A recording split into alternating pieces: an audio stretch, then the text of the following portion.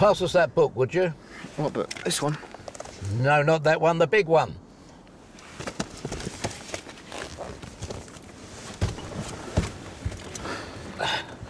And the other one.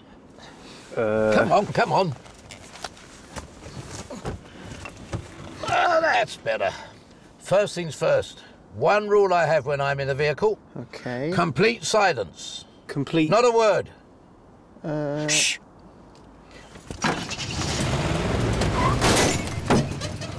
Uh, Mr. Morris. Silence!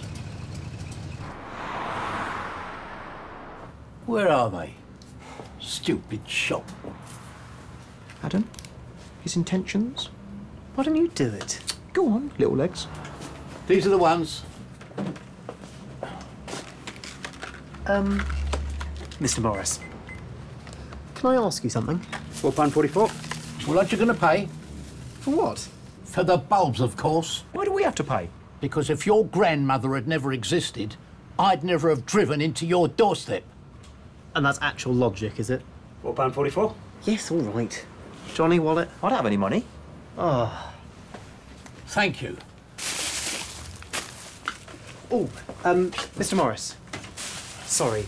Um, can I ask you something? What? Um, we just wanted to know. What are your. Um. What are your intensive interests? My what?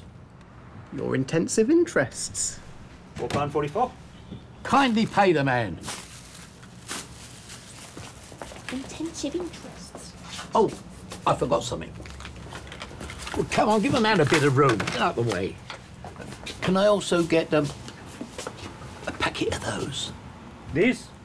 Let me have a look at them. No, I've used these before. They're too loose. Too loose. Adam, why is Mr. Morris buying condoms? They're more hygienical. You do know he's going to use them on Grandma. Well, technically he's going to use them on himself. Please don't finish that sentence. Ah, yes, those are the ones. Nice and tight. You may pay now. I'll be outside. Hmm. So those are his intensive interests.